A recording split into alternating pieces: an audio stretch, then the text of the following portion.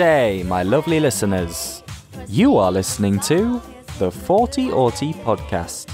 Tune in every week to explore inspiring stories and insightful information that dive headfirst into the world of autism and mental health. With all those tantalizing tongue twisters out of the way, let's get into the show.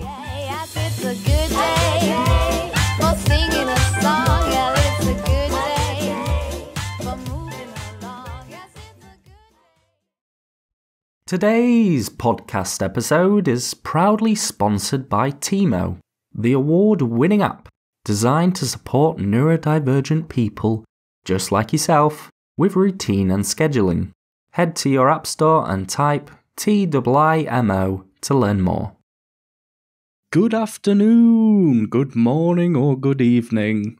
Welcome back to the Thoughty Auti podcast with your host, Mr. Thomas Henley, of course. How are you doing? I am doing very well. The clocks have gone back, and while that might have left me with little time to sleep, I f- I'm feeling good today. Today, we're going to be doing things a little bit differently than normal. For any of you who have listened to the past episodes, a year or so ago, I interviewed a girl called Lottie from Lots Voicing Autism about her experiences being misdiagnosed and being sent to a psychiatric hospital. Very intense story, but very eye opening. With these podcasts, I usually try to focus on specific topics, but today we will be diving deep into the past of a very inspirational woman.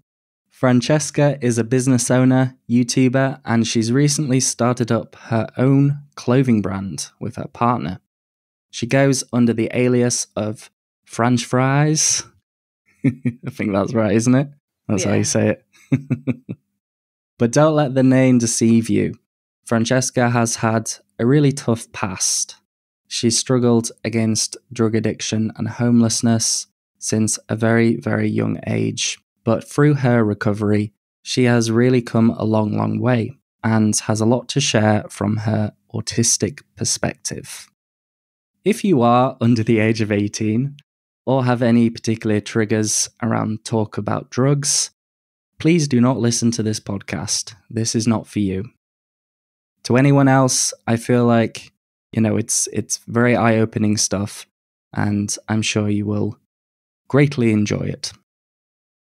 Francesca, how are you doing today? Hi, Thomas. Good, good. Thank you. Excited and Yeah. nervous, and uh, excited for being in your in your show. Definitely. Uh, we we had a very long pre-chat uh, a couple of days ago, I think, Yeah. where you told I think you you told me your entire story in one sitting. And usually usually I'd get a bit tired and I'd get like losing concentration. but I thought your story was incredibly interesting. And uh, yeah, how have you been coping during COVID? um. Well. Uh. Just try to stay positive. Try to, you know, I feel like a lot of us have been from the beginning thinking it's going to be over soon. It's going to be over soon. Um. Definitely. I feel like I've been mourning uh, trying to mourn for everyone that's been uh, really, really having a horrible time because I'm sure most of us have been having a tough time. It's definitely it definitely affected my business. It definitely affected. Uh, I guess the only other thing that I can complain about, uh, because for the most part I'm really resilient. I always try to find like look at the positive side of things. Yeah. Well, it's important. yeah, try to stay optimistic. Try to be like, like, oh well, you know, I can do this. You know, be like, I, I, when when everything starts closing down, I'm like, okay, I can take a break from things. You know, I can use it, it helped me to use the time to start working. Actually, start working on my YouTube channel. So kind of like give me that push to be like, okay, Francesca, you have no excuses now. And it helped me to do a lot of uh, things and, and save money on not going out and just, you know, try to focus on doing Hmm. all these side projects that I want to do, which was mainly YouTube. It's interesting that you say that because one of the the reasons why I put out my documentary um, was because of COVID. You know, like Yeah. wh- wh- when when you go into such a massive change in society, you kind of have to. I think for, for autistic people especially, you kind of have to latch onto something to give you a bit of Mhm. structure. Yeah. And editing the documentary was something that took a lot of my attention and stressed me out, but it was it's I guess it was sort of like a little side project that I could latch onto. Yeah, you know, I'm like feel like I was on that that boat too. It was actually really stressful when I started YouTube because well, it's a whole nother story, but it was a lot of uh misinformation that I got, and then I purchased this this program that was like kind of helped me kind of like how to navigate through YouTube and do it the right way, but it was not really. It was it gave me all the wrong like tips and stuff, and it just wasted a lot of time doing because I'm not really good with social media to be honest. Um, I I don't really spend a lot of time. I just don't understand social media. Honestly, it's just something that I enjoy it on a very small little like doses of it. But Yeah. I cannot be hours and hours on social media because it overwhelms me a lot. So starting YouTube, I was telling me that I have to do a lot of social media, and I was like, "Wow, that's one thing I didn't want to do." It's awful. it's the it's literally it's literally the thing that I despise the most about podcasting and YouTubing. yeah, especially because I'm dyslexic. So for me, reading a lot, I always read things. If, if I try to read really fast, I read things wrong. I type wrong. Like it's too much of my of the side of things that I like. I, I like to write, but I like to take my time on it. And social media, I have to do it fast and read a lot. It's just overwhelming. Yeah, I, I I completely agree with you. I don't think it's particularly friendly for autistic people. I know a lot from speaking to Yeah. other people. It's I mean I, I mean I did a podcast with Indie Andy about it very recently. Don't know if you've heard of him. He's a he's sort of a autism Yeah. YouTuber. Yeah, yeah, yeah. I, I- I speak with him Lovely sometimes. guy. He's yeah, he's very nice. but yeah, we talked about social media and stuff, and I don't. There's there's something about it that the sort of constant, especially when you're producing podcasts and videos and any sort of creative media, that it kind of kind of stresses you out because you feel like you always Yeah. have to look at it and you always have to post something and do something and Yes. talk to people. One thing that you mentioned to me earlier was that you have been snowboarding quite a bit. That is like uh, being in the UK, we don't have a particular particularly large amount of snow other than sort of indoor snowboarding arenas and stuff. But anytime that I've done it, I really enjoy it. I can't do skiing for some reason because my legs just always just spread apart. But snowboarding is is something that I I think is really cool. How did you get into that? Okay, so yeah, so snowboarding is my drug of choice. I have to say it's really addicting. But yeah, pretty much um I thought it was cool. We were going to go with some friends uh years ago and it, it was a really bad uh weather. So they didn't recommend us to go to spend money if it was going to be like really slippery bad weather, like it was raining. And the other guys still went for it cuz they kind of had a little bit of more experience. So I was like, I just stayed in the car and didn't do it. And then after that, well, because I had problems with with uh my boyfriend at the time, um, I guess kind of like it was we got in a really big fight that day and just never thought about snowboarding again. Like Mhm. it was kind of like I what do you call it? I paralleled um with like a bad experience, kind of like I just just never had it. Just I was I got involved with other things. I just didn't think like oh whatever you know snowboarding. I don't think I'm gonna be able to go, be good at it or anything. I just didn't know what I was missing. So uh my now boyfriend fiance and he done snowboarding before and he mentioned a couple times that he wanted to go and do more outdoor activities he wanted to do you know go to the to the every time we'll go vacation we'll go to mexico. So we're like oh we'd like to go you know to mountains snowboarding one day like and where i live specifically is very suburban like. So it's like a small little those little american like movie stories like uh neighborhood. So it's really clean it's really nice. All the houses look alike, which I particularly don't like, but I guess it makes the city look really uniformly, right? That's crazy. That's crazy because like in the UK, I don't have either of those. In unlike the entire the country, UK. The I entire oh, so country. cool. Yeah, I was always thinking like it'd be so cool to live in the UK or live in Spain or whatever. But then I then I think about like, oh my god, now that I got in, into snowboard, it's like wow, like can I go for years without ever going snowboarding and stuff like that, you know, let alone months.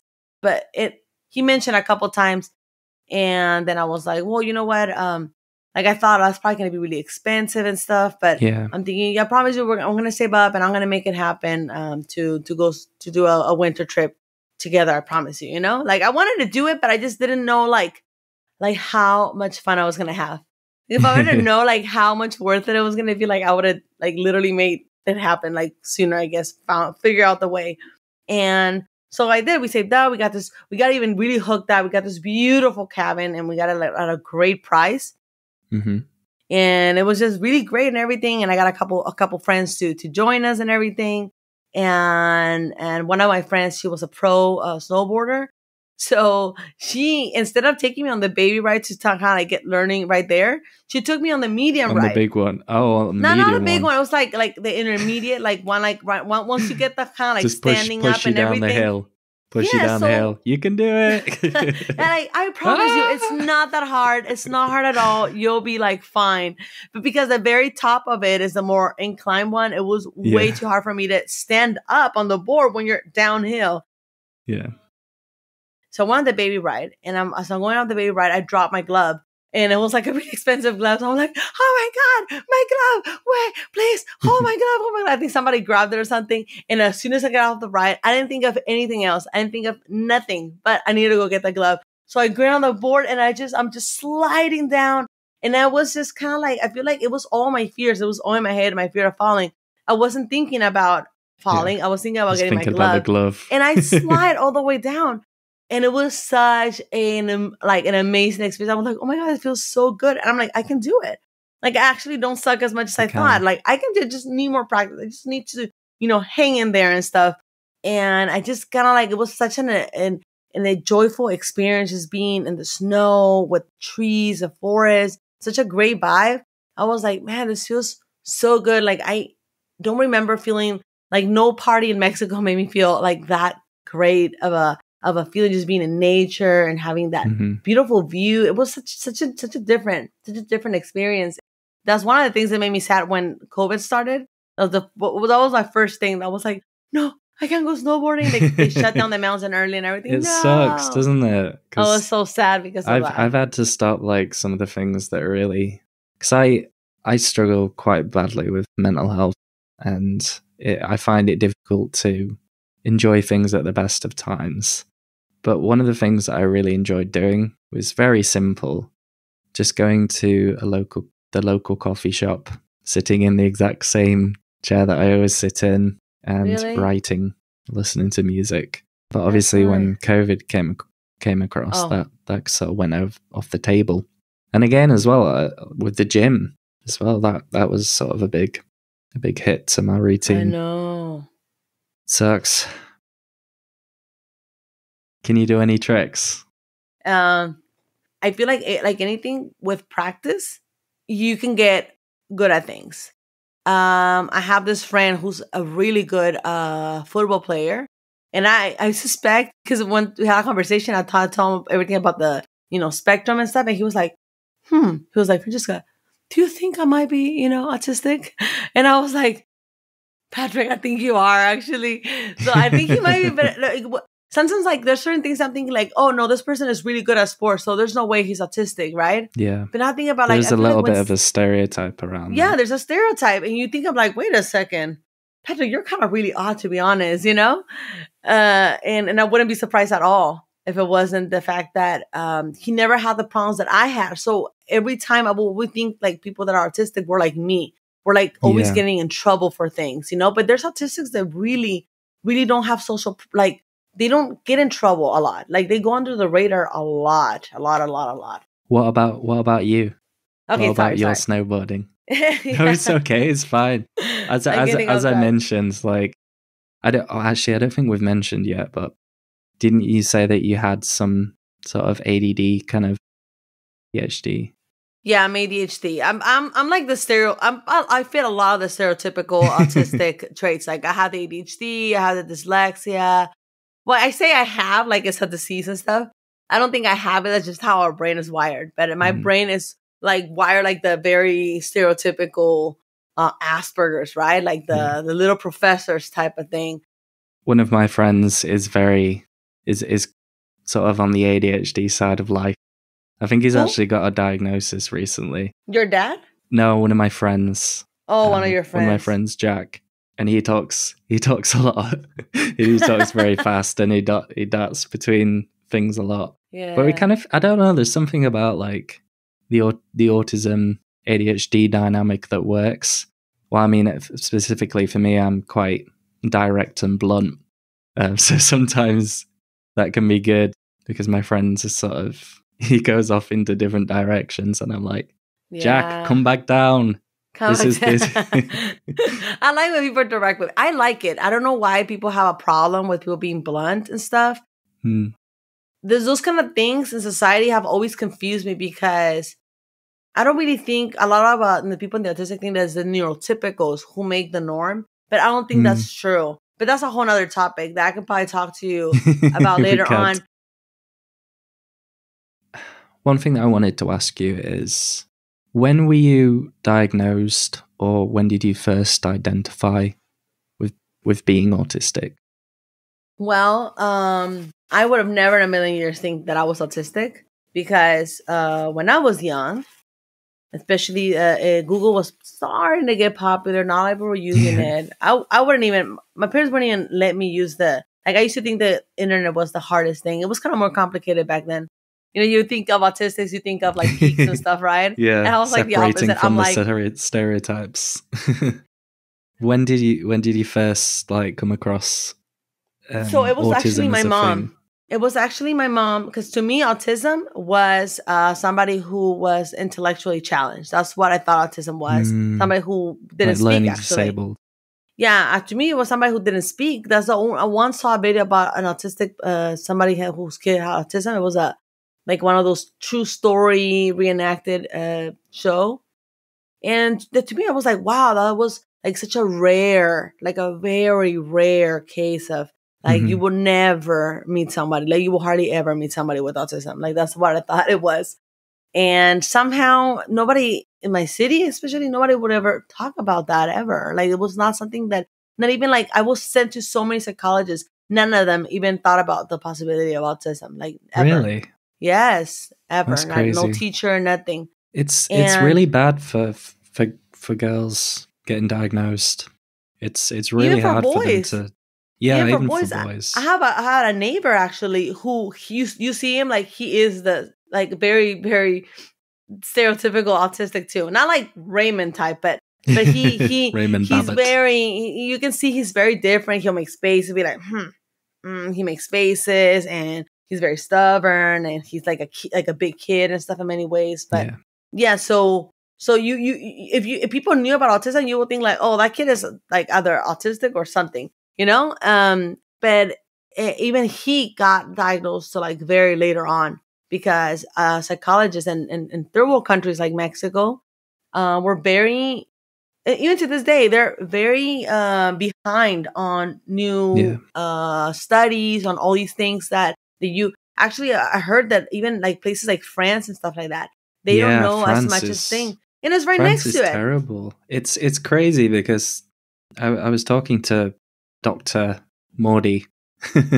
recent, Uh-huh. very recently in the last episode, um, and he's telling me about how France is just so behind on on like scientific research because they just don't learn English.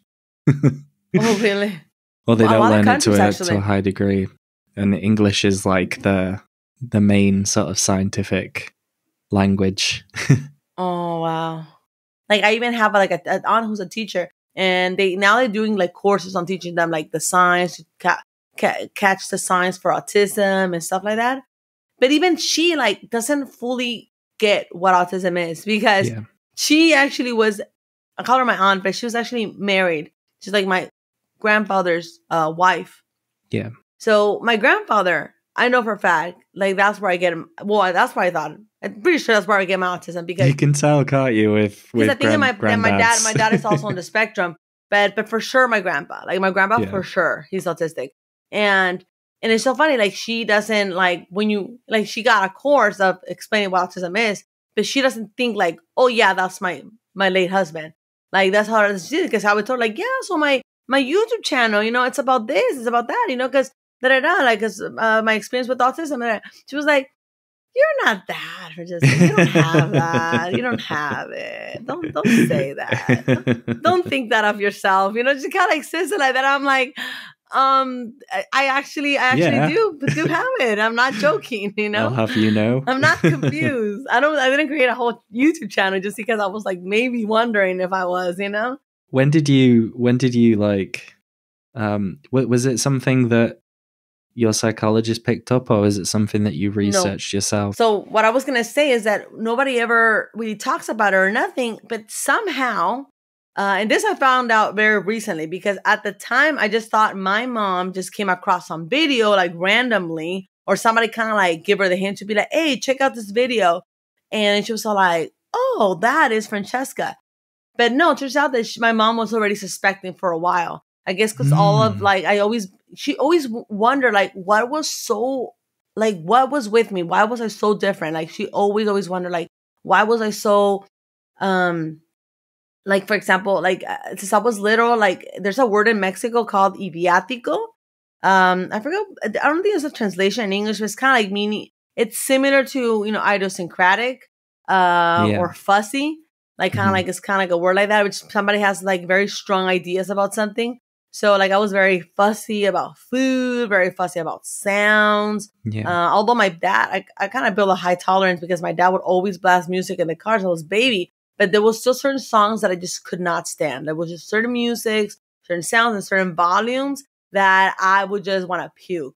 Like I remember, for example, like Mexican banda. Like I cannot stand that type of music for my life. Like I, I think it's the worst music ever invented. But that's thai just me. music is is not good for the old sensory Yeah, with system like with the trumpets and the high, like the what do you call the ones, the things that clap and stuff. and uh, things that are like screechy and really like yeah, loud it, noises Yeah, so if I'm in a club, like if I'm at a party and they put that music, like I'm out. Like goodbye. like no, You're out of I cannot place. stand it. One time I wanted, I wanted because I was when you're drinking, you're kind of a little more tolerant to things, but uh, with alcohol, I'll be more tolerant. And I will be at a party. My friends want to go to this one club where they play that, and I was like, fine, you know, I don't want to be like the party pooper. So I was there, and the entire time I was like with my ears, with my hands on my ears, I could not stand it. And I just started feeling bad, worse and worse and worse. And so I finally walked out the bar. I'm like, I'm sorry, I can't be here. so wh- when when was the the turning point like was it was it your mom that that It was my mom. It was my mom who just kind of like wanted to figure out what was why was I always had like. It was just so many things. It was just always kind of like I was like to her a problem child. Like I was Yeah. eh, eh, because I was always be called by like she always she would- every year I'd be called by teachers, uh, principals. I was always in the principal's office for one reason or another. So she was always trying to be like, like there's no way that everyone else is wrong and she's right. Like there has to be something wrong with my daughter because like why is that everyone is always saying those things? You know, that's how she. did she go to a psychologist or is it something that you did No, um, after talking actually. to her So when this happened, I was already. It was after me already kind of like messing around with drugs.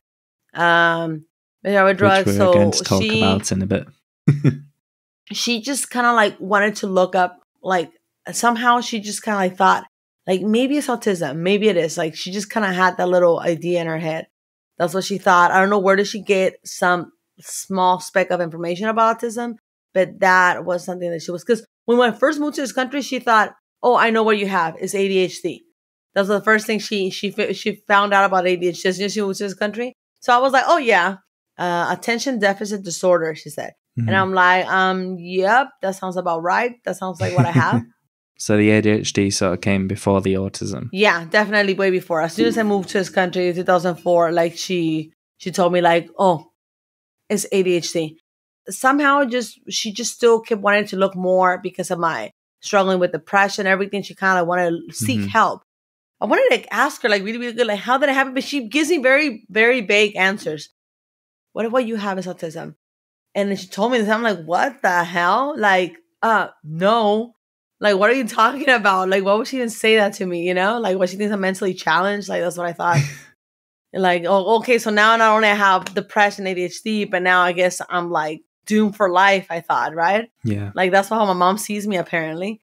And she showed me this video. And in this video was I guess like uh, um, Asperger's syndrome was becoming popular, Mhm. and the way that it was explained to I guess most of these kids being diagnosed was that you were half autistic, half normal.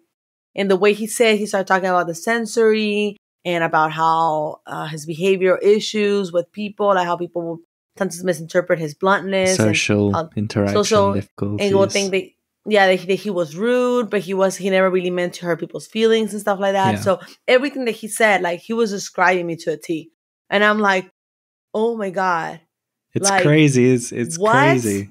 how can somebody else feel the same way that i'm feeling. Mhm. like i could not because for the longest time i felt like an alien. Like i feel like nobody feels like me. Like nobody Yeah. understands how how much how why i'm so fussy and i hate being fussy about things but i just can't help being fussy because i'd rather not eat if i'm gonna eat something that i don't like.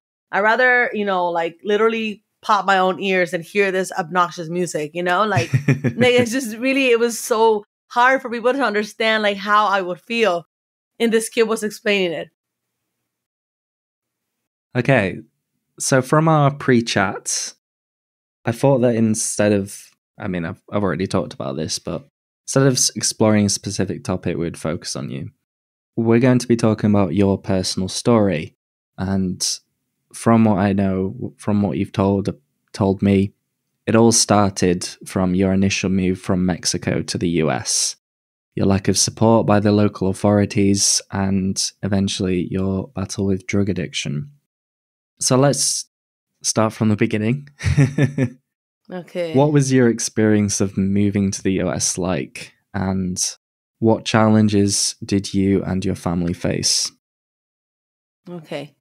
So, for the sake of not making this really, really long, I'm going to skip all the small little details because I do want to just uh, state that um, there's a lot of little factors, and I'm all about the small details, like how did this happen? Like, I'm all into Yeah. details. I love telling stories with details, and I love hearing details in the story because that, um, you know, there's, I feel like there's missing pieces where, like, it's like, you know, how do you build a car? Well, first, you know, I think like I want a car like this, and then the car is made, you know? I'm like, Yeah. uh, you know, like, but, but how the, it, there's a bunch of, you know? So I, I like the I- I details, but understand, I'm yeah. gonna skip those details. So pretty much I started experimenting with drugs since before moving here. Um, and that's because I was already experiencing depression. Uh, I struggled a lot with bullying growing up, um, especially in when kids start getting more intense with the bullying, it's like junior high. Hmm. Everybody was becoming more socially like aware and everything. And I was a super late bloomer. I was still playing with Barbies and stuff like that. I was still um very like in my like I was spaced out and I would like draw. I was still like a little kid at 12, 13, 14 years old yeah. in so many ways. And kids notice that. Kids notice that. So kids like seeing reactions, right? You know, people in general. sort of see that see that vulnerability in you. Yeah, yeah. Well, I was a really odd person to them in many ways, but now all of them are like my friends, social media. They they admire. They like, I don't want to say they admire me, but they look up to me in many ways. Like they like me.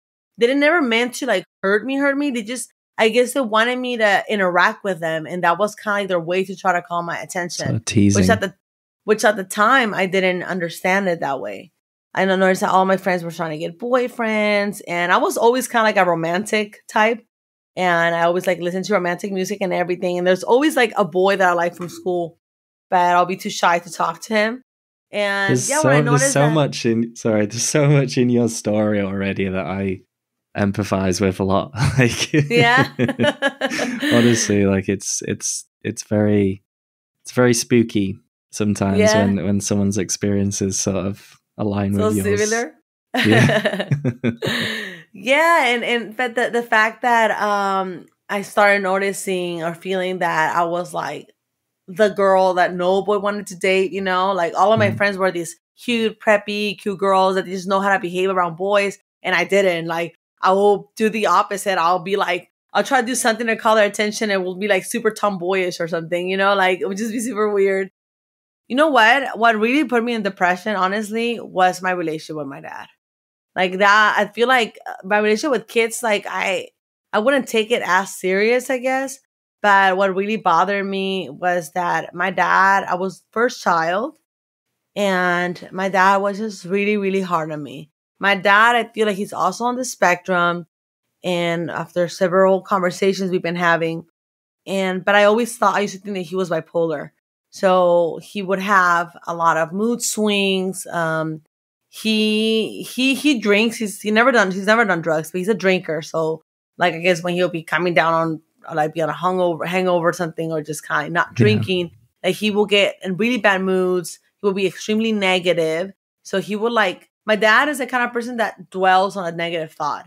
He dwells Yeah. on a negative thought and he just keeps on like, you know, so he feels so negative with himself and he takes it out on other people. And many times I was that other people. That's something that that my I think up until actually quite recently, it's something that my dad struggled with.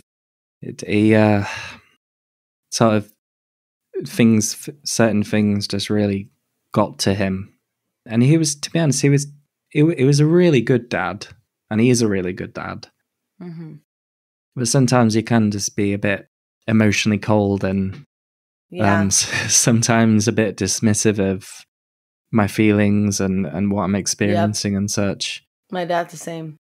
Which And it goes back to It's like uh, I know that he has good intentions and that he loves Mhm. me, and I guess it's it's difficult to to grow up in a time where autism awareness was so remarkably different. Yeah. Like my dad lacks a lot of empathy, but when he cares, he cares. He really cares. So it was really weird because it was a lot of things that he will do to me. They'll be like, oh my God, he is the coolest person I ever met. But then he will help other people. He will help a lot of people. So he just wasn't aware of the pain that he was inflicting on me Yeah, if you know what I mean. So it was kind of a lot of things were like, I don't understand how can my dad be nice to other people, be so cruel to me? You know, how does that work? Like what kind of mind does he have? Yeah. And and um and and everything that he will say to me just like if the kids will bother me in school, I, it didn't matter. But the fact that my dad will say really, really cruel things to me, I'm not gonna say it here because probably someone's gonna want to kill my dad if I say them um it was it was just so down putting it was Yeah. really down putting i felt like i was just the most you know disappointing person in the entire world that if my dad didn't love me like who else was gonna love me you know like i was just he always made me feel dumb he always made me feel worthless he always made me feel lazy good for nothing and honestly like i know there's some kids that are lazy and in many ways like i i was like a, who doesn't like chilling and just like doing nothing right but but I wasn't really a lazy No, kid. Like yeah. I would try really hard. Like when I would chill, I would chill, but he would like make me feel guilty for the moments that I just was at home doing nothing or whatever, you know? yes, yes, I I So- understand that. yeah. So a lot of things and that just uh at, at 15, um I was to me was really important to be a good kid and never do drugs, never drink, never go to like always did to, about, to my dad and never go to like uh, parties past 12 p.m. or something and just kind of like be a really good kid. To me, that's something was like so important.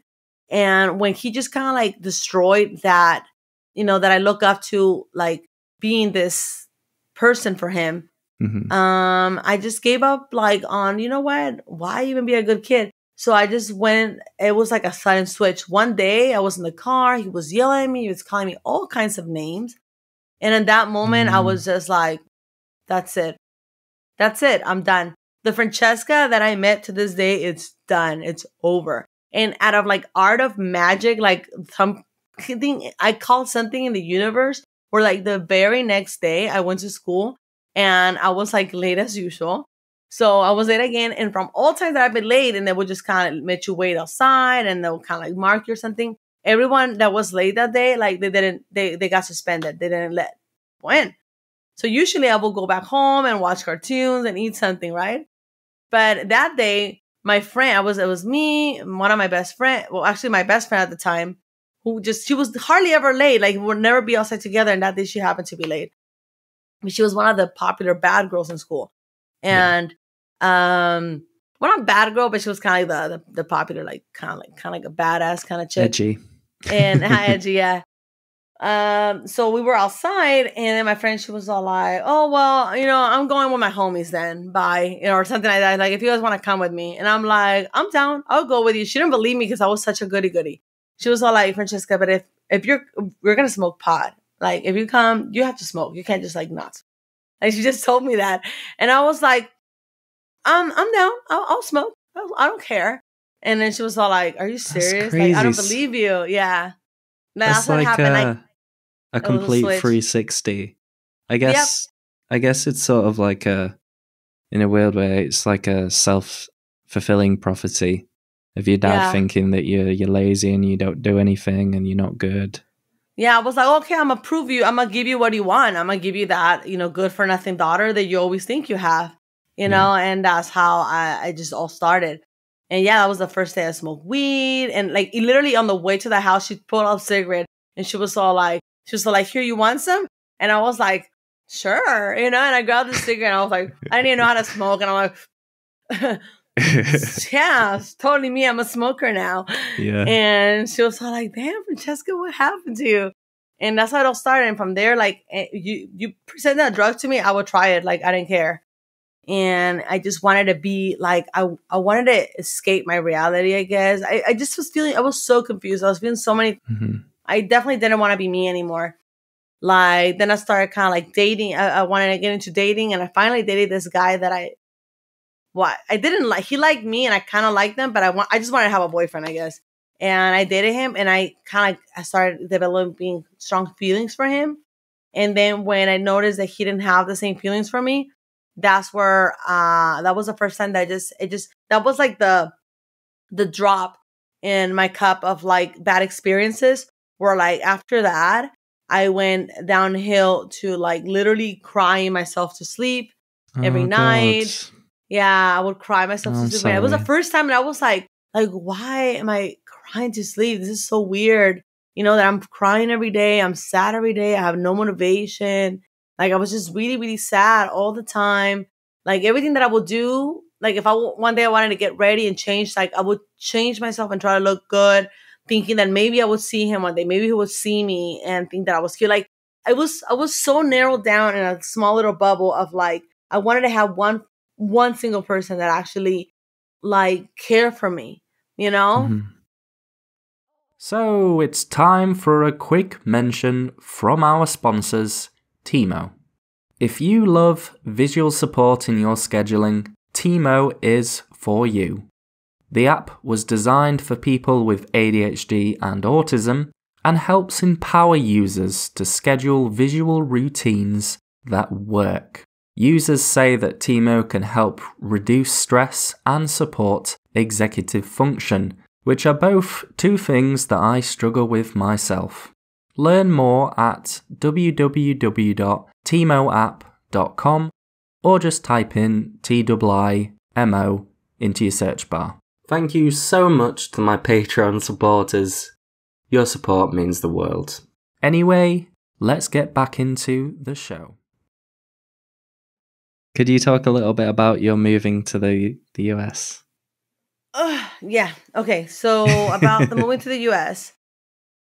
So I was already starting to deal with depression and uh, I was all about, you know, all about kind of like trying to figure out myself, figure out myself and um, my friends and everything, just kind of like having friends and just being a Mhm. teenage, trying to figure out my way into being a teenager or what was to be a teenager, right? The last year of high school was actually well, really good. I moved, I moved high schools, and this other high school, uh, I was, I made really good friends, and it was really good time. We had a lot of really good adventures, and then all of a sudden, um, my my parents' business goes, um, they have to go bankrupt or whatever, close the business, Oh, and decided to they were gonna either start something else there, but then they Yeah. got the opportunity, like they got a from one of our friends to be like, hey, why don't you guys just you know come over? Ask my mom like you can stay here or you find a job, and maybe like try to um experience living here for a little bit. Like How don't know, did you for the kids feel to to about that? I was actually really excited because at that time I wasn't ma- like I was kind of like tired of living in that city. I felt like I was like my life was going nowhere. Like I was about to finish high school and I'm like, where am I gonna go? What university am I gonna go? What am I gonna study? Because I always wanted to do movies, films. That's what I wanted to do. Yeah. So staying there was kind of like, okay, what can I study that would help me do films here? You know, it was a very small city. Like, what, what was the first, like, couple of weeks like in the US? Like, what was the what was the place like? Was it what you thought it would be? Um, no. So at first I was very excited, but once as, as we started uh, actually going through the move, my mom moved and everything. Those two months that my mom was already had moved over there, um, while she was trying to get a get us a place and uh, get us a, a steady job. Um, it was hell for me. Like me and my dad were like my dad was had this worst depression, so we didn't get along, and uh, we he put me through so much stress that I ended up actually running away from my house. I was on the streets for a whole week and finally he he he um uh my mom figured out that I was staying with, with one of my friends and uh and he found me and then uh there was this whole like family meeting that I done he promised he was gonna change and blah blah blah and then after that um another incident happened where on the day that we're supposed to leave he let me sleep over at my friend's house one last time but we were actually gonna go to go to a party because my friends were trying to do me like a goodbye party but it was kind of Yeah. far away and we were moving in bus so somehow it happened that we ended up there and the guys, because there was no cell phones or nothing. So the people got tired of waiting and they left. And uh, we were stranded there and we were trying to get a ride from this other person and they ended up taking forever to get us a ride. So Oh. bottom line is that I never made it back home, got in trouble. My dad was so mad. And then he ended up leaving without me. Uh, next thing you know, I was rumbling in this somehow like I I just got scared and I was rumbling in the streets. I didn't and, like I feel so guilty. I didn't go back, like not even to my Yeah. grandma's house or anything. My grandmas were so not nice. I never felt that I could just be like, uh, grandma, I'm in a situation. Can you help me? And they would just be like, of course, sweetie, come here. Like I'm here to Sort of support you. Like accepts you never. with open arms. I never, yeah, I never felt that like I would literally feel more safe asking like a stranger for help than actually asking my grandma because the Yeah. simple feeling of somebody like do you go to somebody and this person is like, oh, what did you do now? Like has that kind of reaction towards you makes you be like, never fucking mind. I'm sorry I even called you. Like, you know, it's just kind of like was one of those things where like, I don't know, I don't even really think about it. I just felt like there's I can't ask my grandmas for help at all. It sounds like you just really didn't have someone to go support. to that that No. understood or no support. would help. I actually ended up staying at a drug dealer's house. Like this was like one of the heavy drug dealers in the city because my friend was connected. My friend Mhm. was really connected with those those people, and uh and we stayed there. And yeah, like it's funny that I will feel safer at a drug dealer's home than I than actually asking my own family for help, which is really sad, right? But somehow I end up like is. rumbling, rumbling, rumbling. My friend was with me for a little bit, but then she gets like she didn't tell me. She calls her mom, and her mom picks her up and she ends up like leaving literally like bouncing on me and so I'm, i was left all alone At this drug dealer's place. at this drug dealer's place and then at some other lady's house too who she was like she would also how uh, uh shelter people sometimes like Yeah. there was this one guy it was just it was one guy who was there who was claiming that he got in a fight and he actually killed a person and i was God. just like here listening to him tripping as out a, as a good thing. huh as a good no, no, thing. no, Like he, he- was flaunting about it. I think he was no, he was actually really feeling really guilty about it. Okay. But he was trying to talk it out. Like he was trying to convince himself that that what he did was like what he had to do. You Yeah. know, because otherwise this guy was gonna beat him up or something. But they were just in a fight and he, there was no need to take out a, a, a knife. And he Mhm. took out a knife or something. He he stabbed them, and then he kind of like really like felt like, and then cause he'll be like, yeah, like, and I, I fucking kill the you fuck with me and da da da, you know, and he was like, you better kill that person, da da da. He had kids and a and da da da. He started tripping out, and I was just like listening to him, and I was just I just couldn't really believe, you know, that this was really happening and then finally ended up back at my someone. cousin's house. My cousin, who was my best friend, and we have been, well, I call it uh, just distant for a while. And I ended Yeah. up there. I forgot what I, I went there to ask her for something. And then when I was there, I was just kind of had nothing else to do. And I was there, like I was telling her what was happening with me and everything.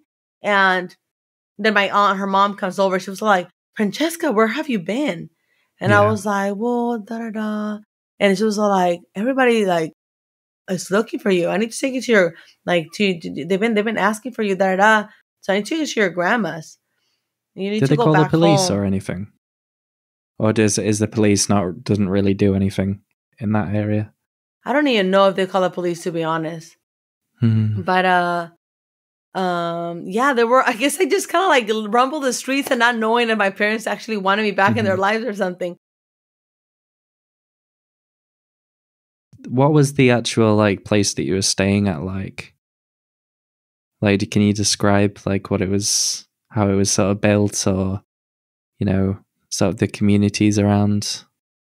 Um well when I was the homeless the first that this this Where when right you now came to um, the US, the place that you you stayed at. when when I moved to the US Yeah. Because I, I think, like, when we had our pre chat, you were saying about how there was, like, this big circle of people, big, big circle of, like, houses and stuff. You were saying, big circle of houses. No, I think you're I think you're confused when I talked to you about El Chavo del Ocho, how he lived in this community. Oh, that guy. Oh, Yeah. it's- that wasn't you. yeah, well, I did describe you how there's this thing in Mexico where they're called like vecindad. They're like these little communities, and the buildings are Yeah. all like around it, and there's like a middle patio, and this kid Yeah. lived in there.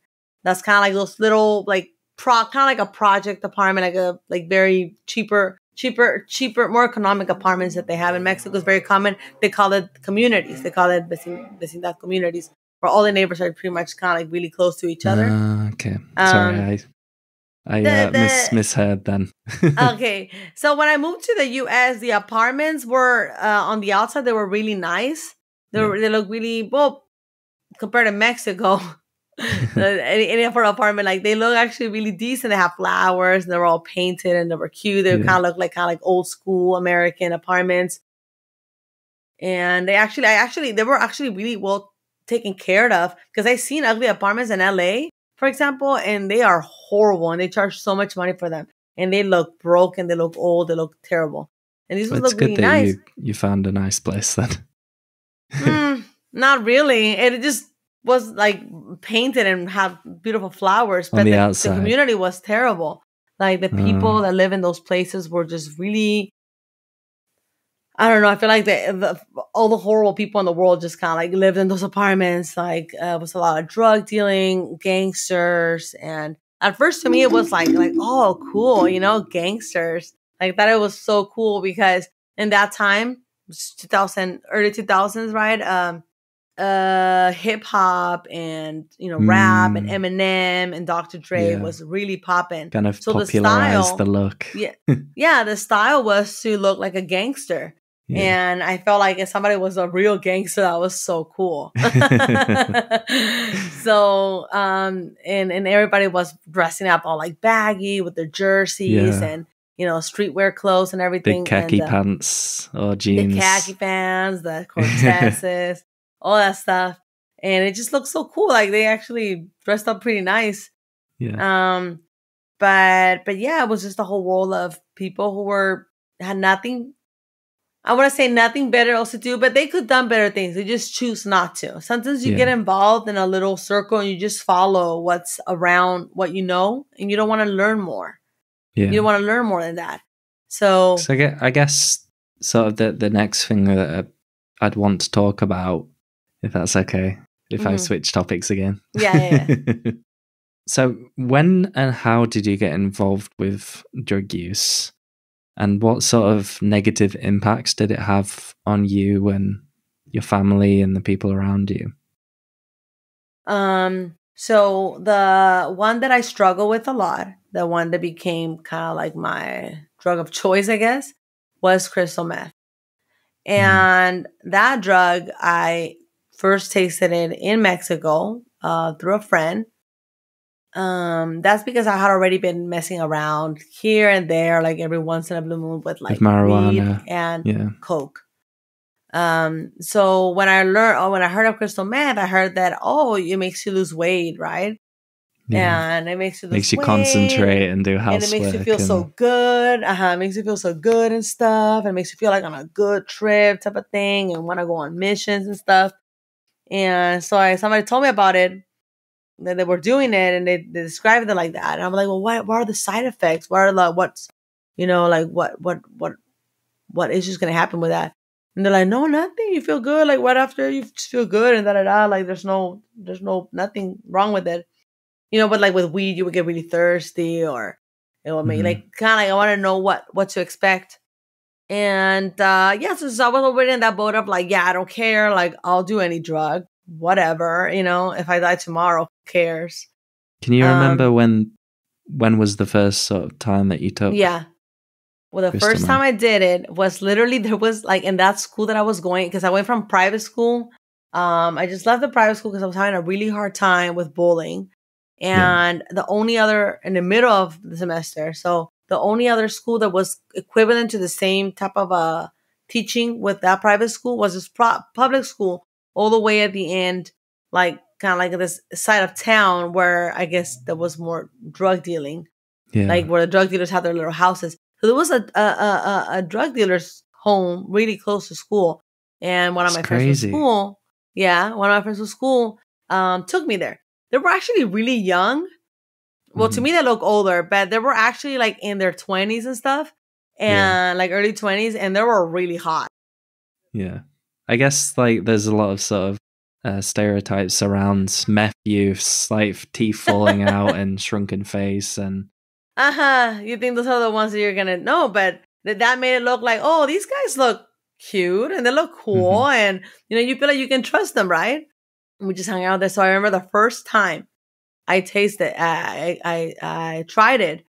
Uh, it was to smoke and through a foil, and um, the first hit was literally I felt every single cell in my brain just popping, and it was like a huge uh, sensation of like uh like euphoria. uh yeah it was definitely euphoria but it was like I want to think about it and sense of sensation was more like electricity just going down my spine down my whole body like all the Yeah. way to my limbs like everything just felt like like it was it's not like the first hit right it just felt like that and i just felt euphoria and i just felt such a great mood i just felt like my thoughts were like flowing like 24 7 and i just started talking and talking and talking and talking and talking and Even more than you up? do now. Yes, if you think I talk a lot right now, you should see me when I'm high. so I started talking and talking and talking. I just felt so good. And it just felt really, it, it was something that felt really, really good at the beginning.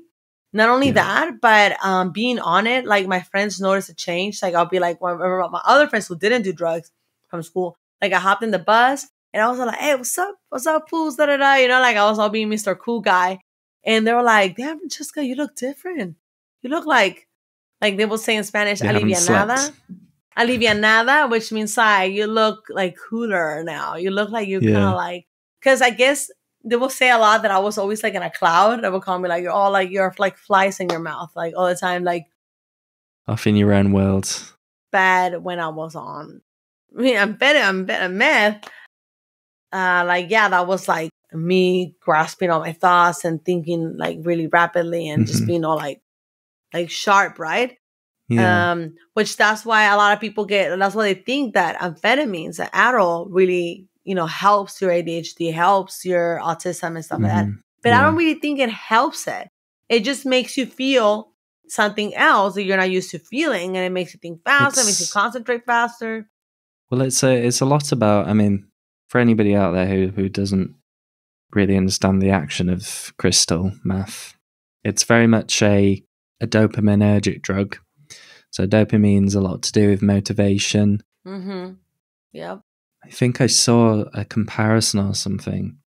Um, it was between what what someone would expect the the amount of dopamine units that someone would expect for like um a release. Let me say, Yeah. is like uh you know like fr- like a free, but smoking crystal meth is like a twenty eight. So it's some Yeah. it's something that that your brain would never be able to produce To do on its Um, own. to, to to do on its own. Yeah. And sometimes with with the dopamine gives you a lot of con it gives you a lot of concentration. Um and it gives you that euphoria. the euphoria. Um I think it also affects your adrenals as well. There's this guy that I watch called CG Kid. Because of my background in biomedical sciences, I'm quite interested in the action of recreational drugs, just as an interest. it's a very strange interest, but, people get really into it. but it just it, it's just a very insightful way into someone's experiences and this guy CG Kid, he makes a lot of videos about rehabilitation, um, and his particular drug of choice was crystal meth. Oh. And he said that while he was on it, he would he wouldn't sleep for days, and he'd get paranoid. But then he he liked the paranoia, and it was like something exciting, and he'd do a lot of things that he wouldn't do when he was when he was sober. Yeah. A lot of bad things, you know, to get money and to I used to I got really into watching uh intervention, which is somebody who's interested in learning more about uh drug addiction stuff. It's a really good show to watch. It amazes me how a lot of these people get so much support from their families and they still don't take advantage of it. They're so I think that, that when it comes down to it, it's just kind of like the core person that you are on the inside. Because no matter what, you can. There's might be a certain point where you're like you probably push the edge and do things that you didn't think you would do, but then you won't do it again if it goes against what you value. But sometimes, like when you're in a, in a state of depression and stuff, you start everything that you believe in and you think of yourself, it starts destroying. So you think of yourself as nothing, and then you start just Mm. doing whatever else wants you to do, just so you can feel. The thing about drugs is that it made me feel something. I had Yeah. no sense of direction at that time, no motivation, and I just didn't really understand anything about me, the world, why I have so much bad luck, why would things always happen to me, type of thing. And I felt that that was uh, a really good feeling to be honored, to be cool. But then, Yeah. even though at the beginning I didn't feel the si- the effect, the, the strong effects of the side effects, like the burnout, I wouldn't feel that at first. But I still felt that that was just not a good look for me, a good life to be like, oh, like I'm on drugs, because I just felt like there was a bad stigma to it. And I just Yeah. something told me like it was just against my morals to be like, okay, Francesca, like enough, you don't want to do it again. But then I like guess it's sort of a bit sort of self-destructive to your confidence and your yeah, sort and of your morals and yeah, I don't want to be like a person that did drugs. I wanted more than that. But then circumstances just took me to do it again and do it again and do it again. When I was in Mexico, like I was like done, like I don't want to do it anymore. But then I moved Mm. to the US and I felt that I guess I had this like unconscious need to want to fit in and hang out hang out with these girls that were in the neighborhood and stuff. Mhm. And when I saw them one time that they were smoking weed, I was like, oh, like, I'll, I'll smoke with you guys and da da. So I got high with them. This is the first time I tried chronic. And and then the other time they were like uh trying to do crystal meth. And I kind of knew a few tricks already. So I was like, they were trying to do it with the boy. I was like, oh, do it like that and da da. And then uh so yeah, so I just kind of be like, oh, like it'll be like a good experiment to just um Mm. get high with them. I thought like to kind of like get to know them or to hang out, you know, like that was kind of like something that we had in common sort of like a, a method to to to connect with people, I guess. to connect with people exactly. And and then from there, it just started kind of like happening that uh that was the only way to connect with people. And there was this other guy. He became my best friend at the time. Uh, he was this like like older African mm. American guy, but he was really cool. Like I thought he was really cool. He knew how to rap and stuff.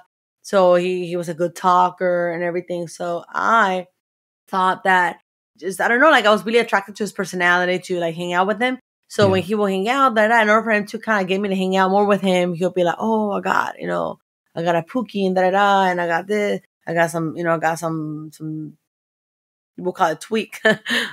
Tweak being crystal meth. Yeah, that's what it is. Okay. And I'll be like, okay. So just kind of like, I guess having that feeling of being invited to do things was Yeah. kind of like something that gave motivation. Now, one of the things that I was so, un- I got so unmotivated uh, when I first moved here was, and that kind of gave me to just kind of like, being fucking, let's do, I guess, hang out with people and do drugs and stuff. Was because when I tried to go, join high school, uh, they didn't allow me. They didn't allow me to get in high school because I was about to turn 18 in three months and that was their Oh, stupid rule. That was their excuse. It was such a ridiculous rule, such a ridiculous excuse. They gave me no. That was like, what am I supposed to do? Well, they're like, well, you can do homeschooling and da da. da. They never explained what homeschooling was. They're like, oh, you can go to adults high school, and I'm like, Yeah. what's that? Adults high school has a classroom with people where I can learn things, and they were like, yeah. I'm like, okay. that was a lie. That was completely not at all uh, a classroom. It was just a place where you would sit down and do work for three hours, but nobody gave you any class. But So I anyways, suppose that's like you weren't receiving the support for your Yeah. education as well. In this yeah, I was having a really hard time uh, trying to go to a regular school and get like the education that I was seeking for from the U.S., which was the number one thing I came here for for an education. And the other thing was that when I I as soon as I got here, I tried to look for a job and everything, tried to do everything right, and everything just went wrong for me. Mhm. I tried to get uh, there was a new place or a new quiz was opening down the street from from where I was living. So I was like, oh, this is perfect. Uh, what call it? I applied and went to the interview and got the job and everything. And literally after the first day, like he was training me. He was training me and teaching me stuff. And I'm like, oh, okay. Like I was like super nervous. It was my first job in the US ever. Like I had jobs Yeah. before, like I worked for my grandma in a restaurant and I worked for my dad in his office, but it wasn't the same thing. Like I never worked for someone else, like a job job. It was my first job in the US and my English was still like not perfect. Like it was like kind of like it was basic pretty much, but I didn't know like a lot of words because I hadn't practiced it in many, many years. Yeah. So he was training me and then like literally like not even halfway through the shift or something, he calls me to the back and then he tells me like, Hey, you know what? Um, I don't think this is gonna work out. I don't think I'm gonna be able to hire you. He didn't even give you a chance. He didn't give me no chance. Literally, this was his excuse. It was uh, wa- was people walking around with hot things, and if you're not, I feel like you're too distracted. I feel like I saw you. I was talking to you, and you were like, you know, looking everywhere, looking at the board. Ah, Eye contact. Yes, asshole. he was so like you were looking at the board, and you were just like not paying attention. And I feel like you're gonna like be dropping stuff because you don't pay attention, Oh, like that. that sucks. It's so Yeah. horrible to hear stuff like that because it just further sort of emphasizes the Like the, he wanted to give me zero problems that they have chances. in, in workplaces. Yeah, what a jerk. No chance whatsoever. I just moved to this country and you're making me go through this. Right before this happened, right before I got the job and everything, that's when I had already gotten jumped by these girls. Uh, I think got you it done told by six about this, girls. Yeah. I was hanging out with these two girls that I was trying to, you know, be friends with and stuff. And then like four girls come over who were friends with these girls. And then they start talking to them and they're saying blah blah blah and like what's up and blah blah blah. I don't know what they were talking about because I would just kind of be in my own planet most of the time because I just didn't really know what was going on, neighborhood or anything. And then somehow, like all of a sudden, one of the girls comes to me and I'm just like in my own planet. And then one of the girls comes to me, but I'm also like I'm, I'm also observing them like in my own planet, but at the same time, like observing and trying to like pretend like I'm there, you know, with them, but I'm just like thinking about something else. Yeah. And and then one of the girls comes to me and like she literally tells me that she wants to get down. I didn't even know what the hell that word meant. Like I was like, what do you mean get down? She was like, let's get down. Let's fight. And I'm like, what? No. I'm like, I don't I don't want to fight you. Like, why? Why? What did I do? What? What's going on here? Like, I got so like my heart just started racing. Like, oh my god, my dad's gonna kill me if I get in a fight here. He told me to not get in trouble. That's that's to not- terrible. That that's the first thing that you think about. Yes, that was the first thing that came to my mind. She's gonna punch me. What's the big deal on that? Like, what I was scared is that my dad was gonna kill me and probably return me back to Mexico, whatever. Which I think at this point, that that now that I look on hindsight, side, that should have been the best thing he could have done. Like, return me back to Mexico because my first two years in the U.S. were the most horrible thing I could have experienced. I'm sorry to hear that. Yeah. And out of like anger, when I was already like really upset and confused and mad, and I turned around and I was like, fat ass. I called her fat ass. And then they started all running after me. They started all chasing me. And then they finally found me. I was hiding in somebody's apartment. And then one of the guys, one of the guys literally told me, like, here, Francesca, what's going on? Let's talk. Come talk to me. And then he guides me all the way to a parking lot and throws me outside and closes the door on me so I can get jumped by those six girls Oh god. and all the girls started beating me. Started, uh, uh, they, they all started kicking me, punching me. It was a lot of kicking for sure. One of the girls like literally threw a can of soda at my face, but it, she missed me by like a hair. That's a lot. That's a lot for one person to deal with. And that all happened, I think, within a month.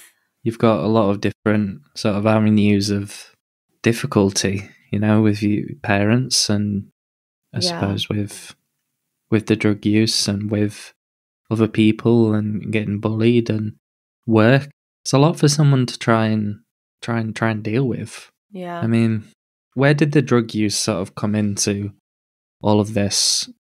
Do you think, do you think that it caused any dif- difficulty? Do you think it put a spanner in the works into you progressing and moving out of that place? Did I think that, that if it put a what a what? Did you think that the the addiction and sort of cycles of, of withdrawal from crystal meth kept you in that situation and didn't didn't let you progress?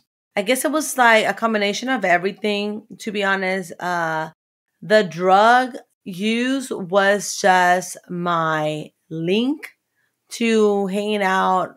Like I I was under the idea, I guess, that I needed to have friends. And the only option for friends were those people in that hood. Like, despite all the bad shit that happened to me, I don't know why there was still some some some people, some of the guys were really nice to me. And I guess when you're at a very low point in your life and there's just one person that is nice to you, you just attach to the idea of being friends of that that person is hmm so important to you. And then I also had this huge crush on this one kid. On this one kid who moved away, and then I started having a, another huge crush on this crush on this other kid. But all these kids like were, Were they kids all that, within within the the the circle of yeah, drug this use? g- Yeah. circle of a group of friends. Well, they were actually young, and these kids weren't even do drugs. Weren't even do drugs. I don't know why I started doing more drugs or just hanging out with drugs because they were just kind of like available, and it was just kind of like something to do. Like kind of like kept thinking like, oh, like drinking, you know. Like at first, I was people. I was able to go home and just pretend like to go to sleep or whatever. It was just something to do. I was so bored out of my mind, to be honest, and uh drug using was the only thing that I had to do because I had nothing else Yeah. to do. I had uh not a lot of money, you know, to go shopping, to go to a mall, or a friend to go to a mall with me. I didn't have a normal life. I wasn't going to school and have friends from school that I could hang out after afterwards, like like So I used to, like a normal person. drug use was your avenue to to get to get the connection with people and to get I guess, yeah, like that was kind to of give like you the, the one thing. motivation and The to give you the motivation. excitement. Uh, when you're young, I think you kind of like see life, like you kind of live life day by day. And I guess whatever occurs to you on that day is what you do. You don't, there's not a lot of planning involved. I was not a really, I never really been a good planner. I, I've been getting better at it now as as a much as older, as an adult. I mean, I had no direction and my parents were too busy trying to make ends meet to really even pay attention to me or know what the hell was going on with me. Yeah. Uh, and I think that's a story. That's the same case with most kids that have uh, the lower class, the low, lower class in, in the U.S. People who you know whose parents make minimum wage and have to work two jobs to be able to survive, make ends meet.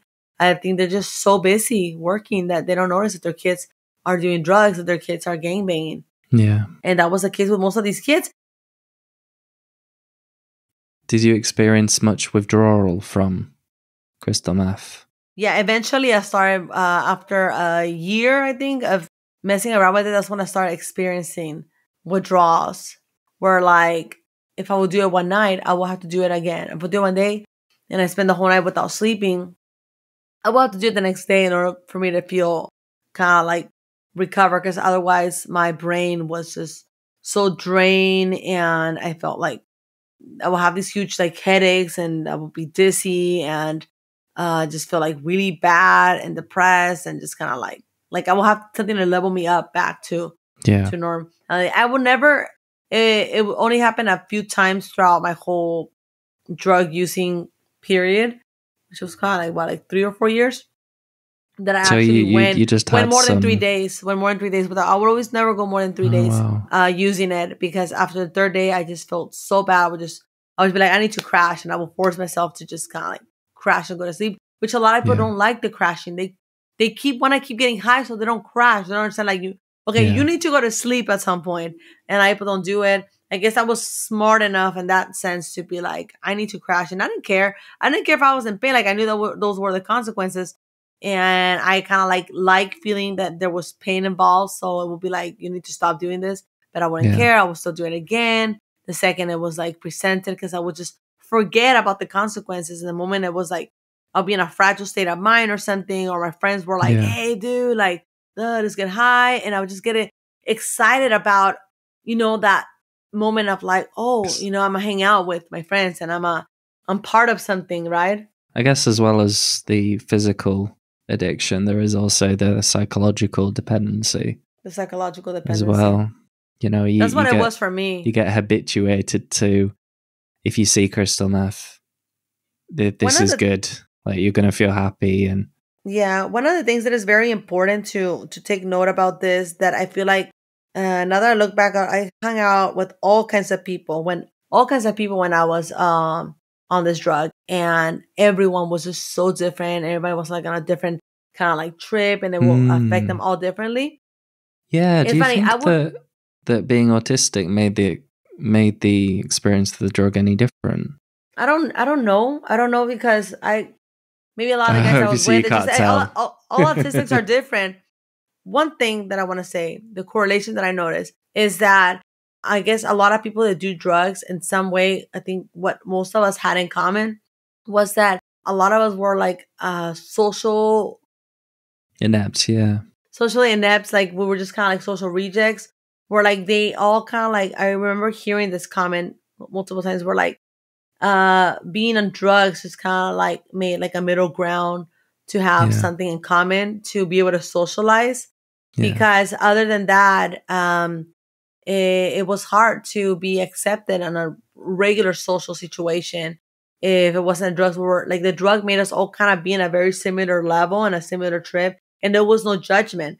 When I would hang around with people with you know with drug addicts, there was no real judgment. I could be weird. I could be all the weird I wanted, and they would even they would disregard a lot of thinking like, oh, maybe that was a drug, or maybe I don't know, maybe she's weird. Who cares? You know, they there wasn't a real judgment to be like, oh, you have to behave like this. Oh, you have to behave Yeah. like that. Not saying that it's not important to learn how to behave in certain such situations, but the way that sometimes people put it out there, they make you feel like you're just not good enough. You're never Yeah. gonna be good enough to do this. You don't know how to do this. You don't know how to do that. I feel like if my entire life, if I would have cut off a lot of factors out of my life and just my leave it leaving it down to the only problem, my only problem in my life being the fact that I just behave socially a lot different than other people, would have certain comments that were not socially accepted in regards to it will make people uncomfortable or my the way I would eat. And for example, my grandfather will have this thing where like if somebody was eating something, he will pick on other people's plates, right? Which is uncomfortable because not not just for the neurotypicals, but I feel like people who some autistic people are very delicate. And if you touch their food, they'll be like really disgusted. So everybody has their own ideas. But that's why having I was like having a norm and learning how to kind of like certain things that you don't do in public are important because they are important for other people too. Like some people might not I would probably not mind my grandfather grabbing out of my plate, but some other artistic people might be very like I OCD would or not. very I would like not be. I would not you'd like, accept that with open Oh, arms. Here, I'd yeah, you like, can have "What- my entire What, the hell are you doing? yeah, like what what are you doing? And he will do it to anyone. Like he didn't care. Like let me see, let me hit that. Uh, um, let me see, is it good? Um. He was just speaking like he wouldn't care, you know. And those kind of things is kind of like like yeah, some of us found it very funny and very charming, but some other people did not. yeah, My grandpa had an amazing life. He didn't care. Some people loved him, some people hated him, and it worked for him because he had an amazing, charming personality. So those who love them like like them a lot. But for other people who don't have you know that kind of like uh, social thing. charisma. Yeah, that thing where like people, or you're gonna have like, okay, at least I have some friends. I don't need to. I don't need everyone to like me. You know, um, it, it, it, it, it's it's gonna affect them to be like, you you should care for other people. You should care how you behave because how you treat other people is how you ex- should expect to be treated. Will you expect other people to not care how you feel? Do you expect to, other people to not care about you being Mhm. uncomfortable? Then why do you make other people uncomfortable? I used to talk to. I used to have this kid that I wanted to help who got diagnosed with ADHD, but he living with him, he was homeless because his family couldn't deal with him. I let him stay in my house for a couple months. He was a nightmare. He was a nightmare, and Mhm. I know that he got misdiagnosed. I'm like, dude, you're not ADHD, you're autistic. Like, you need to ask your doctor about that. You need to look into that. eh, he had a, a lot of trouble with being, you know, learning how to follow rules and being, you know, how to behave socially. Although he had a certain charm to him at first, but then he will have a lot of problems with. Yeah. He was just a person that you couldn't, you you just couldn't be around. Like you couldn't help because it was all about what are you going to do for him, never what he was going to do for other people. I do understand sort of the, you know, some of the traits of, of autism sort of lend themselves to perhaps thinking about oneself more than other people. Like we really, we generally have a, a lack of cognitive empathy. There's like 2 Mhm. types of empathy. One is cognitive, one is adaptive. Uh-huh. Cognitive is the ability to know if someone's, uh, what someone's feeling um, from Mhm. what they're saying and, and what they're thinking about. Adaptive Uh-huh. is when you know how that person is feeling, how do you act? Yeah. And autistic people don't struggle with adaptive empathy. It's just the cognitive side. So there's like there's a lot of those different things that that go on in social interactions and like as well being surrounded by people who don't understand you and don't seem to see it your way, you're likely to go the opposite direction yeah. and just fight against it. One thing that I would always tell this kid, his name was Julio, was like, I'm like, Julio, like, if you want to be this way, the way you are, that's fine. But you need to go and live in a island, like by yourself, like in a very small place where you hunt your own food, where you just do things on your own if you don't Mm. like being around people. But if you want to, but you do like being around people. You hate when we go out and we don't invite you because, I'm like, first of all, we can't pay for you, you don't have money. And second of all, you um you cause scenes and you put us in a lot of trouble. Like you put us in trouble like almost with the law and stuff. You do things that we just you're a liability all the time to us. So we can't take you to places and you get mad when we don't take you to places. And but you don't put on your part. You you don't Yeah. want to miss out on things, but then again you don't want to behave. So you you you- are capable of changing. You're capable of behaving. You're just very stubborn and you don't want to put your mind into that, making that extra effort. Mm. That's kind of a. It's it's a bit it's weird, isn't it? Because we we are in sort of a time where we're putting a lot of effort and a lot of focus on accepting who you are.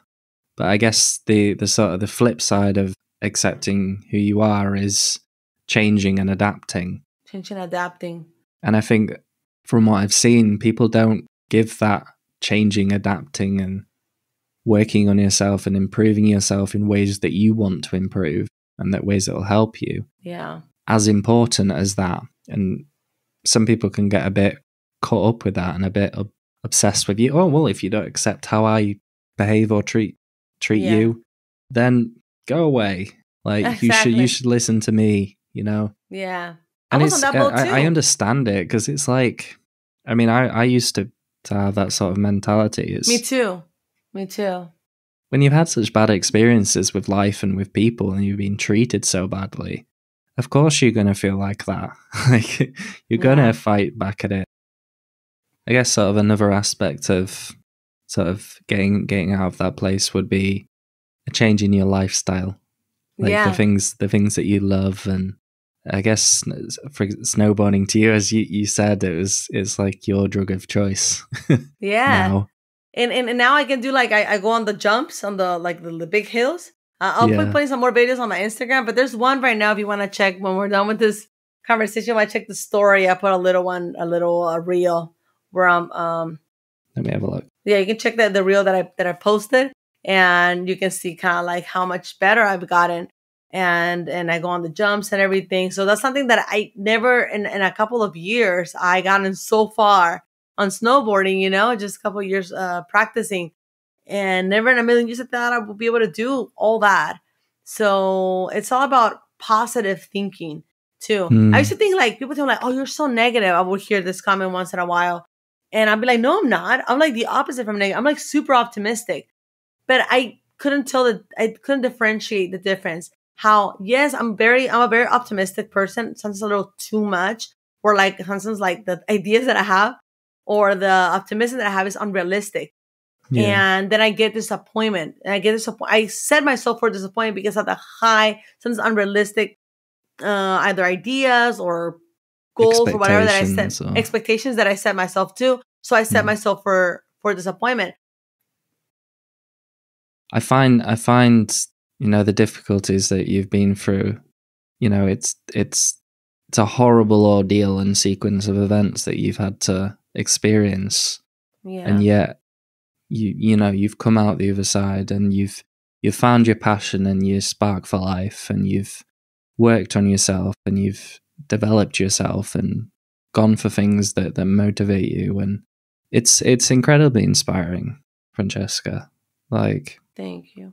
I think it's it's it's really important for people to to hear stories like this because i guess when we when we hear about for example drug use or alcohol use or addiction of any kind we kind of superimpose an idea that this person is not a normal person Mm-hmm. if if that makes sense you know like yeah. I, I what I find interesting is the the humanity aspects to um, people who use drugs. Just like everybody else, but circumstances and mental health and difficult places have caused them to to fall or succumb to to this Yeah. substance. And I think it's really important to talk about things like this. Yeah. Yeah, I I wish I would have met someone like me eh, when I was younger.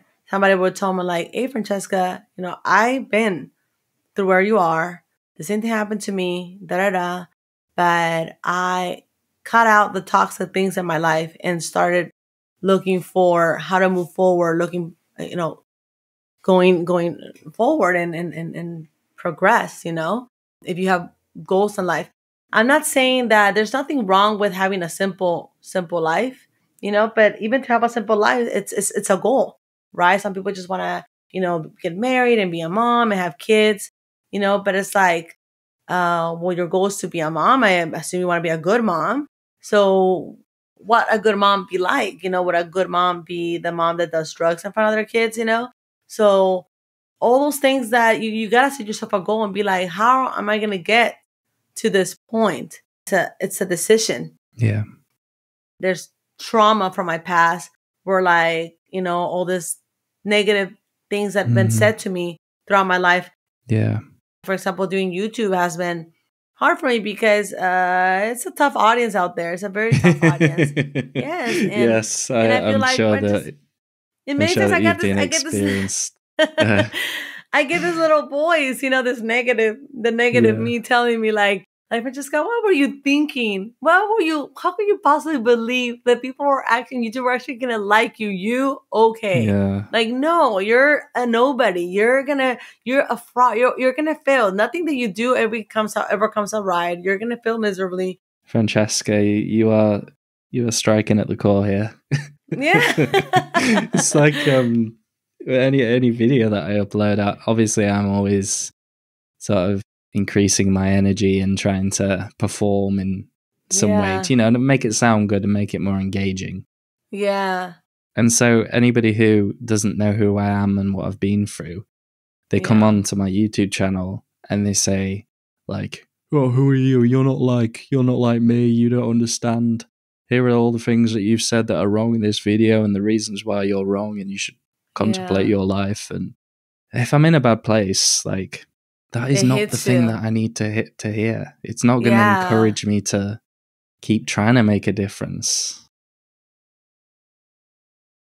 you know, like I'm kind of I'm feeling very happy because we have in our little sort of ranty conversation we have made our way through pretty much all of the questions without structure. So I guess, right? Kind of like you know, connected the the dots. yeah, well, I mean, I I did say that we were only going to have two hours to to Uh-huh. talk. It's been two Um, hours. No, it's been it's been nearly three hours, but Oh my god! it's gonna you be- serious? It's okay. Oh my it's fine. God, It's, I'm the it's been good. I'm gonna. It's gonna be my first step Yeah. towards um becoming the Joe Rogan podcast. I'll be good. Yeah, Joe Rogan. Does my boyfriend loves hearing to Joe Rogan. But I'm just gonna make it long. Like if people don't want to listen to it, they don't have to. But You don't do like, like two parts or who- something like that. You do like No. like a two part because people can always No. listen to the other part later, right? Yeah, but like, people "Oh, can always stop the podcast whenever stop they the want as well. listen. Yeah. I, I, I'm gonna try and keep in as much as possible because you know, the people who do stick around and, and listen to it and want to listen to it, they're going to find a lot of use in, in your experiences and, and what you've taken from life. Like I, I definitely have, and I'm I'm very in, feeling very inspired by it. No matter what time it is, it doesn't matter that it's midnight and I've got work tomorrow. But uh, I'm so sorry. Is it really midnight over there? yes, yeah, Oh my god. I've enjoyed well, myself though. I appreciate you staying up staying up this late. Well, what I want to ask you first is throughout the entire podcast, What three main things do you want people to take away from it? Help me out here. well, what, We what, what do you take about- out? What do you take out of our conversation? Ooh, nobody's nobody's turned it on me like that. Um, I think that although it may be sort of glaringly obvious to both of us, I do think that it's important to listen to everybody without judgment. It's important. It's important to judge and judge people's characters, and it's not. It's something that we do naturally as human beings, Mhm. but I feel like especially with things that are such so taboo like drug use, people sort of immediately place people into a category of not being a normal human being and not being having, relatable. ha- having issues. I think it's important to highlight that that's not the case and that there's some something brilliant and something inspiring to learn from every person that's been through something like that. Yeah. That's mine. You can go for the next one. Uh, I do. I think it's always good to give to be, learn how to take constructive criticism because that Mm. constructive criticism might help me. It's that can be point don't number wanna- two. yeah, some people don't like to give it because they feel like the other person's gonna get offended. It's Yeah. good to not take things offensively. Take it with a grain of salt. Uh, Take a rub it off your back. shoulder. Yeah, rub it off your shoulder if it doesn't apply to you. But do appreciate the fact that that person is taking that im- that im- mattering to you. Like if they're taking their time to give you constructive criticism, they care to some degree. They care to some degree to help you because they think that what they're going to tell you is going to help you better. So just many, many of the tips that I, people give me, I would just kind of put them in the back of my head, and then I wouldn't apply till later. Then I wouldn't understand until later, later. So lear- learning how to take constructive criticism is good, and also giving constructive criticism is good. The other thing is, don't dwell on the past. Don't dwell on negative things, things that happen to you that are painful to you or were some kind of traumatic to you and they hurt you to a- certain degree, you know, learn from that and try to see how you find a way to never be in that situation again, to never put Mhm. yourself in that situation again, but don't dwell on it. Uh, don't make that um, define you. You know, if you've been a victim of abuse, if you've been a victim of whatever, don't let that be like, oh, now I'm the person that was abused as a young person. I was the person that I was, you know, hit. That I'm, I'm that person. Like, no, you don't have to be that person. That's something that happened to you. Unfortunately, this has happened to a lot of people. But you're alive today. You are past that situation. That's part of your past, and that made you a stronger, wiser woman. And now you can, you know, use that experience to either help other people or advise other people on it. Ah, I like that. Learn from the past. Learn from look the to past, the but don't future. dwell. Yeah, and don't dwell on it. So we have the very, very last question. And this is an open question. What does autism mean to you, Francesca? You know what? For the longest time, I was I got really obsessed with like getting into the the nitty gritty of like, okay, how did the whole autism thing started? Francesca. Okay, so what? what does so- autism mean to you? Okay, and then I then I sidetracked. Okay, so what I, was, okay. what I what I meant what I what I was going to was that I don't think it's something that needs to be needs to be medicated. Pretty much, yeah. like I don't even think it's something that needs to be medicated. It just needs to be understood. Well, Francesca, this comes to the very end of the podcast. Have you enjoyed your experience? Yes, very much. I feel like I needed a have this conversation with someone because when I have this conversation with regular people, they're like, Well- "Oh my god, you all you talk is about autism." there are many people who who have podcasts and do videos and stuff and i'm very happy to put put you in contact with them Oh, so that so that you can good. spread spread your story and spread your work a bit easier is there about autism too? Uh, uh podcast about autism. Oh wow, great, great, that'd be great. i very much enjoyed our conversation it has been very long um, and it is very late but i have enjoyed it thank you, thank you. Same, same here. I'm so grateful. I'm so very grateful. well would you like to give out any links to your work Uh, well, my channel is called Neurodivergent French fries. I first I called it uh because I thought it'd be funny, but I I, I don't french think a lot of french people got the french fries and uh asperger's French fries with Asperger's because that's what I always told me because I people call me French fries and that was my nickname and and then as a as a you know Oh, inside joke or whatever. I'd be like I was wondering where French it came fries?" from. Yeah, they were like, "Do you want some French fries with your Asperger's?" You know, they would always tell me that.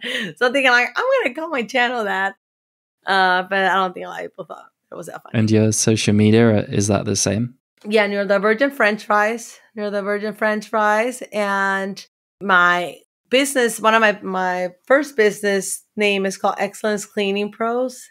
Any clicks Mhm. on the website helps my C- SEO, and also uh, Sick for Trees with my partner. He's Sick the, for trees. he's the creator. I'm the I'm the brains of the operation. cool. And I will put all of those links down in the description. awesome.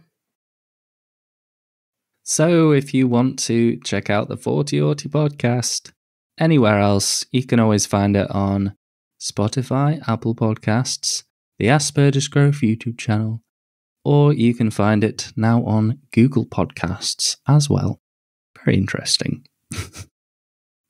if you want to stay up to date with my work and what I'm doing, I've recently started a new job at a non-profits organization and I'm doing a few things with the autistic community to raise awareness, specifically around Autism Awareness Week, um, which has been very interesting at the moment. It's, I think, an un- unappreciated side of my work, sort of working with organizations and interviews and stuff like that. But it, it would always mean a lot for you for you to tune in. Maybe send me an email, maybe send me a DM. Um, let me know if I'm what I'm doing is good and if you're enjoying it and what you don't like about it as well. I am rambling my head off.